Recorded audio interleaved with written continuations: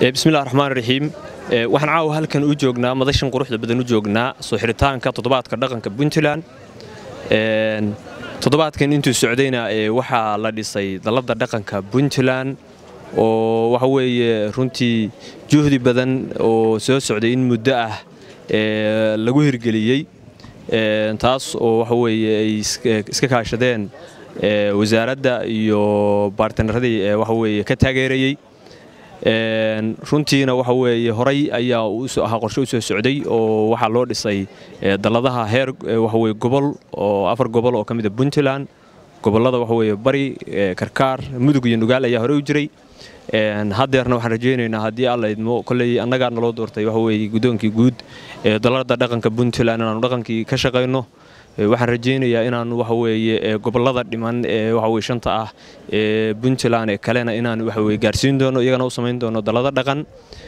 Markaa kadibna aanu ka shaqayn doono sidii loo horumarin lahaa dhaqankii iyo sidii waxaweye waxyaalihii dhaqankeennu waa dhaxalka bulshadeenna oo wax runtii dhammaanteen ama bulshada qof kasta oo ka mid ama cid kasta ee mas'uuliyadii ka saaran tahay.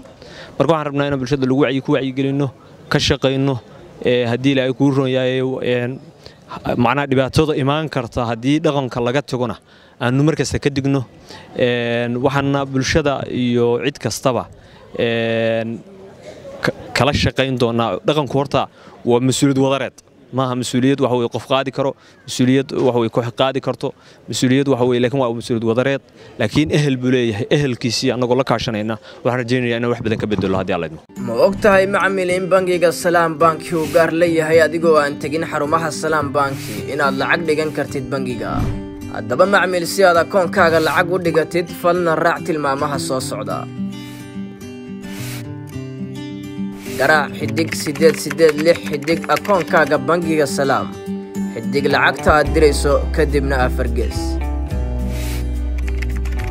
ku qor macluumaadkaaga faahfaahinta lacagta aad dhigaysid si aad u hesho tixiraaca geli lambar sireedkaaga sahalka si aad u dhigatid lacagta.